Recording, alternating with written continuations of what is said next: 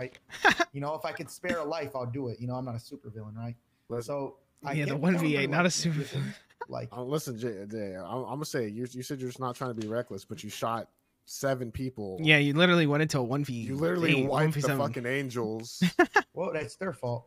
so no, that's not how shit works, bro. You you can't just like How does it not how shit? I literally spent seven days hunting for this girl, and you're gonna tell me that's not how shit works. After seven days, spending at least four or five hours a day looking for these people, and I'm finally just saying, when I get the chance, you're gonna tell no, me that's I not get, how shit no, I get what you're You're saying. Okay, like I this was a understand. spontaneous Jay, I'm just saying, bro. like, I'm just saying, like, you- thing.